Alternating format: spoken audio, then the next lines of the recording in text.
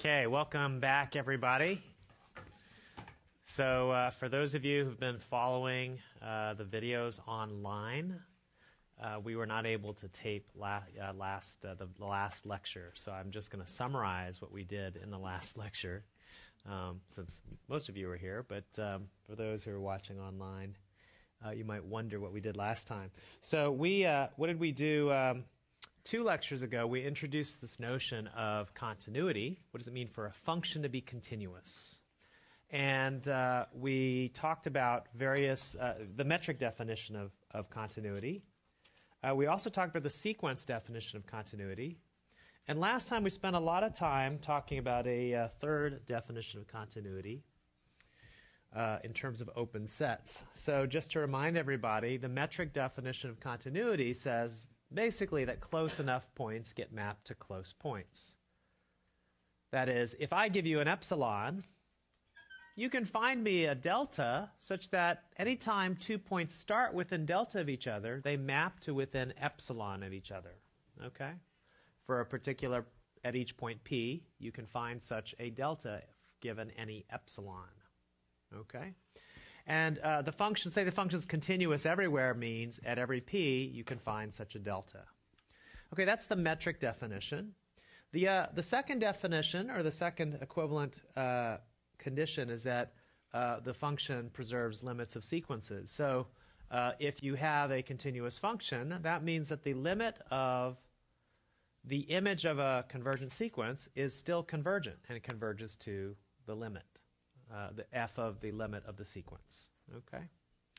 The third definition is completely a topological definition, and it just says that the inverse images of open sets are open. Uh, and of course, it's very closely related to uh, uh, the uh, the fact that inverse images of closed sets are closed. Okay, so this is what we discussed last time. We proved the third and fourth definition. Uh, some of the consequences we saw of the open set characterization, they're very easy to see uh, from that definition, is that the inverse image of, sorry, is that the composition of continuous functions is continuous. Why? Well, if you have a map from space X to y and y to z, and these are both continuous, then you know the inverse image of an open set going from here to here is open, and the inverse image of, of this set is also open because this one was open. And so this inverse image of the entire composition, uh, inverse image of an open set, is open. Very easy to see. Image of a compact set is compact. You've got a compact set here and another space here, and you're mapping it in. Well, let's cover, take an open cover of the image here. The pre-images form an open cover here. There, therefore, there's a finite subcover using only those sets. Therefore, their forward images also cover the set and they're finite. Okay, so very, very nice. Uh, and one very, very quick uh, consequence of that is that a continuous real valued function on a compact set must achieve its minimum and maximum. Why is that? Well, if it's real valued, it's getting mapped into the real numbers. The image of a compact set is compact, and in the real numbers, that's the same as being something and something. Closed and bounded. Very good. Uh, and if it's closed, then there is a point that's achieved by uh, that achieves the maximum minimum, and it, it has a preimage, and that's those are the points that achieve the maximum and minimum. Okay. Okay, very, very nice uh, facts about continuous functions and easy to see from that last definition. So, what I want to talk about today is uniform continuity, which we defined last time, but I will remind you what it is. It's actually related to the concept of continuity.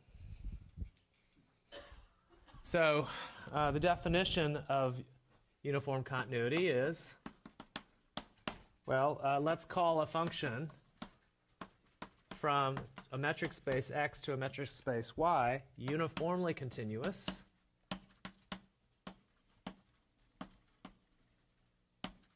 If some condition holds. So we will say it's uniformly continuous on x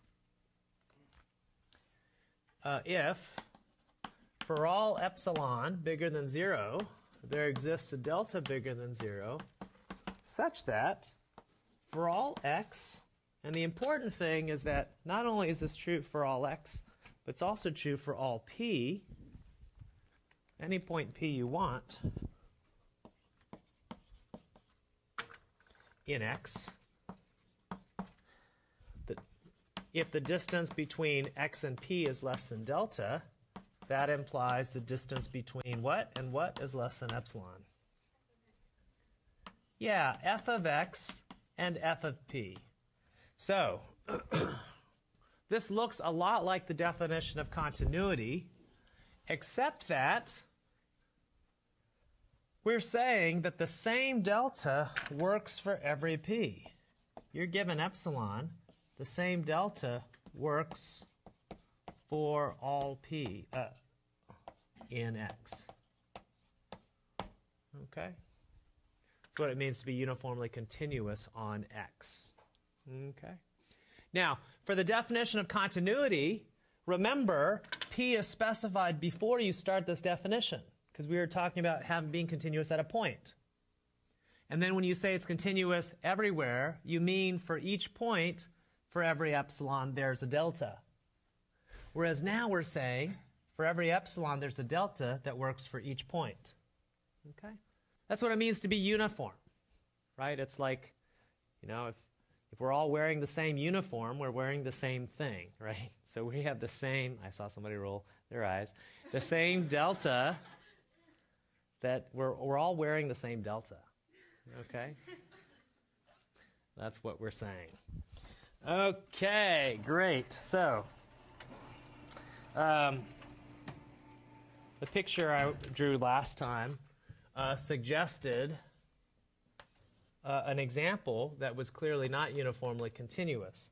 So, for instance, you might have a function like so, and it might be, of course, this is a function that's only defined on this um, portion of the uh, real line.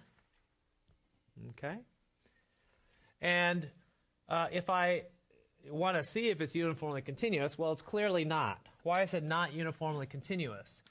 You give me uh, a point, let's say here, P, and let's say take another point, Q.